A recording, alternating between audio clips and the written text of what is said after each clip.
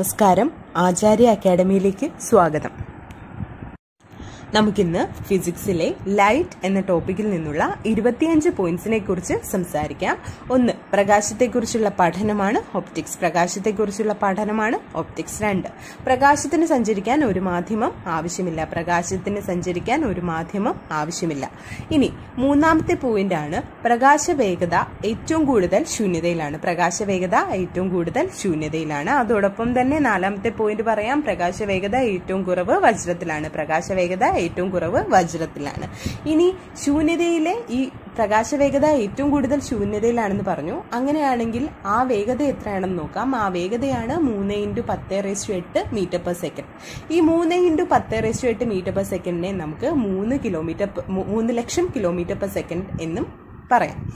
അപ്പൊ നമുക്ക് ഒന്നും കൂടി ഈ അഞ്ച് പോയിന്റ്സ് സംസാരിക്കാം. ഒന്ന് പ്രകാശത്തെക്കുറിച്ചുള്ള പഠനമാണ് ഒപ്റ്റിക്സ് രണ്ട് പ്രകാശത്തിന് സഞ്ചരിക്കാൻ മാധ്യമം ആവശ്യമില്ല. മൂന്ന് പ്രകാശവേഗത ഏറ്റവും കൂടുതൽ ശൂന്യതയിലാണ്. നാല് പ്രകാശവേഗത ഏറ്റവും കുറവ് വജ്രത്തിലാണ്. അഞ്ച് ശൂന്യതയിലെ പ്രകാശ വേഗതയാണ് മൂന്ന് ഇന്റു പത്ത് റേസ്റ്റു എട്ട് മീറ്റർ പെർ സെക്കൻഡ് അല്ലെങ്കിൽ മൂന്ന് ലക്ഷം കിലോമീറ്റർ പെർ സെക്കൻഡ് നമുക്ക് അടുത്ത പോയിന്റ്സിനെ കുറിച്ച് സംസാരിക്കാം. പ്രകാശ വേഗത ആദ്യമായി കാൽക്കുലേറ്റ് ചെയ്ത വ്യക്തി റൂമറും പ്രകാശ വേഗത ആദ്യമായി ശരിയായി കാൽക്കുലേറ്റ് ചെയ്ത വ്യക്തി ഫൂക്കാൾട്ടുമാണ് പ്രകാശ വേഗത ആദ്യമായി കാൽക്കുലേറ്റ് ചെയ്ത വ്യക്തി റൂമറും പ്രകാശ വേഗത ആദ്യമായി ശരിയായി കാൽക്കുലേറ്റ് ചെയ്ത വ്യക്തി ഫൂക്കാൾട്ടുമാണ് ഇനി അടുത്ത പോയിന്റ് ആണ് പ്രകാശത്തെക്കാൾ കൂടിയ വേഗതയിൽ സഞ്ചരിക്കുന്ന പാർട്ടിക്കിൾസ് ആണ് ടാക്യൂൺസ് പ്രകാശത്തെക്കാൾ കൂടിയ വേഗതയിൽ സഞ്ചരിക്കുന്ന പാർട്ടിക്കിൾസ് ആണ് ടാക്യൂൺസ് ഇനി ഈ ടാക്യൂൺസിനെ ഡിസ്കവർ ചെയ്ത സയന്റിസ്റ്റ് ആണ് doctor E C G Sudarshan. ടാക്യൂൺസിനെ discover ചെയ്ത സയന്റിസ്റ്റ് ആണ് doctor E C G Sudarshan മലയാളിയാണ്. ഇനി അഞ്ചാമത്തെ പോയിന്റ് ആണ് പ്രകാശത്തിന്റെ തരംഗ ദൈർഘ്യം നാനൂറ് മുതൽ എഴുന്നൂറ് നാനോമീറ്റർ വരെയാണ്. Four hundred to seven hundred nanometre വരെയാണ് പ്രകാശത്തിന്റെ തരംഗ ദൈർഘ്യം ഒന്നും കൂടെ നമുക്ക് പറയാം.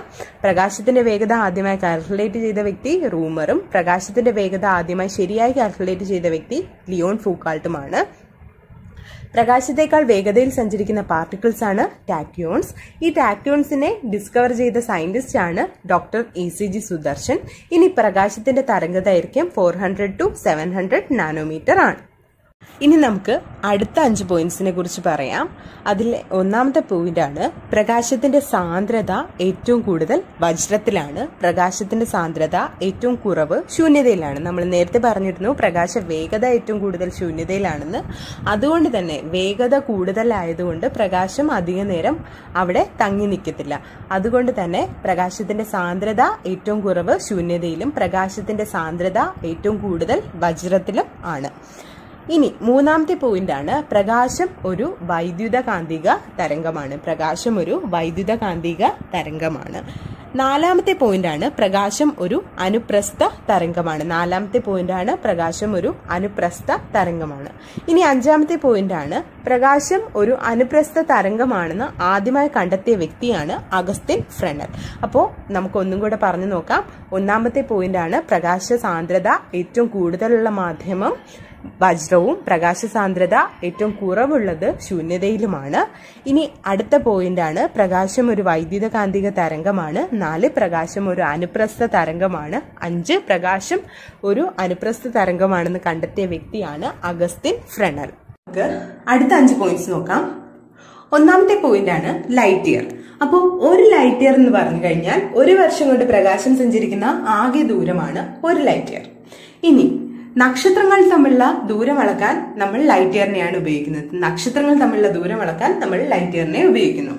ഇനി അടുത്തത് one light year to nine point four six into ten raise twelve kilometre പഠിക്കാൻ എളുപ്പമാണ് ത്രീയുടെ മൾട്ടിപ്പിൾസ് ആണ്. So one light year to nine point four six into ten raise to twelve ഇനി അടുത്തത് നക്ഷത്രങ്ങൾ തമ്മിലുള്ള ദൂരം അളക്കാൻ ലൈറ്റ് ഇയറിനെ ഉപയോഗിക്കുമ്പോൾ ഗാലക്സികൾ തമ്മിലുള്ള ദൂരം അളക്കാൻ നമ്മൾ ഉപയോഗിക്കുന്നത് പാർസക്കാണ് ഗാലക്സികൾ തമ്മിലുള്ള ദൂരം അളക്കാൻ നമ്മൾ ഉപയോഗിക്കുന്നത് പാർസെക് അപ്പോ one parsec is equal to three point two six light year ഒന്നും കൂടെ പറഞ്ഞു നോക്കാം. ഒന്നാമത്തെ പോയിന്റ് ആണ് one light year one light year എന്ന് പറഞ്ഞാൽ ഒരു വർഷം കൊണ്ട് പ്രകാശം സഞ്ചരിക്കുന്ന ആകെ ദൂരമാണ് ഒരു ലൈറ്റ് ഇയർ ഇനി രണ്ടാമത്തെ പോയിന്റ് ആണ് നക്ഷത്രങ്ങൾ തമ്മിലുള്ള ദൂരം അളക്കാൻ നമ്മൾ ഉപയോഗിക്കുന്നത് ലൈറ്റ് ഇയറിനെയാണ് മൂന്നാമത്തെ പോയിന്റ് ഒരു light year is equal to nine point four six into ten raise twelve kilometre ഇനി നാലാമത്തെ പോയിന്റ് ആണ് ഗാലക്സികൾ തമ്മിലുള്ള ഡിസ്റ്റൻസ് മെഷർ ചെയ്യാൻ വേണ്ടി നമ്മൾ ഉപയോഗിക്കുന്നത് പാർസെക്കിനെയാണ് ഇനി അഞ്ചാമത്തെ പോയിന്റ് ആണ് one parsec is equal to three point two six light year ഒന്നാമത്തെ പോയിന്റ് ആണ്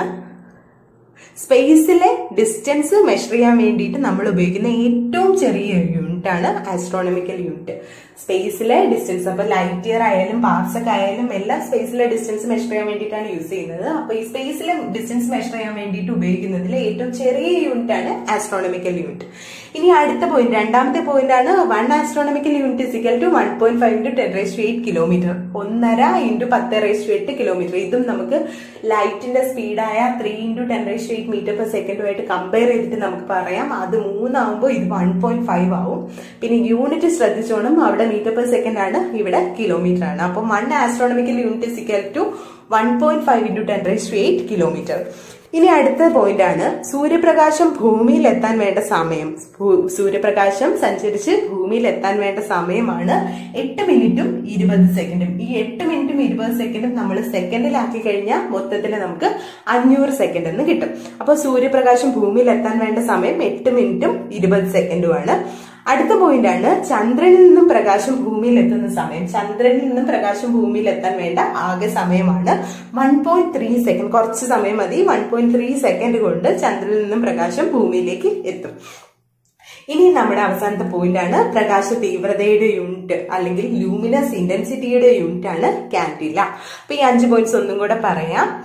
സ്പേസിലെ അകലം അളക്കാൻ നമ്മൾ ഉപയോഗിക്കുന്ന ഏറ്റവും ചെറിയ യൂണിറ്റ് ആണ് astronomical unit one astronomical unit equal to one point five into ten to eight kilometre ഇനി സൂര്യപ്രകാശം മൂന്നാമത്തെ പോയിന്റ് സൂര്യപ്രകാശം ഭൂമിയിൽ എത്താൻ വേണ്ട സമയം എട്ട് മിനിറ്റും ഇരുപത് സെക്കൻഡും അല്ലെങ്കിൽ എല്ലാത്തിനെയും കൂടെ സെക്കൻഡ് ആക്കി കഴിഞ്ഞാൽ നമുക്ക് അഞ്ഞൂറ് സെക്കൻഡ് എന്ന ആൻസർ കിട്ടും. ഇനി നാലാമത്തെ പോയിന്റ് ആണ് ചന്ദ്രനിൽ നിന്നും പ്രകാശം ഭൂമിയിൽ എത്തുന്ന സമയം വൺ പോയിന്റ് ത്രീ സെക്കൻഡ് അടുത്ത അഞ്ചാമത്തെ പോയിന്റ് പ്രകാശ തീവ്രതയുടെ യൂണിറ്റ് ആണ് കാൻഡില ഇത്രയും നേരം ഈ വീഡിയോ കണ്ട എല്ലാവർക്കും നന്ദി. ഇനിയും ഇതുപോലുള്ള വീഡിയോസിനായി ആചാര്യ അക്കാഡമിയുടെ ഈ ചാനൽ സബ്സ്ക്രൈബ് ചെയ്യുക.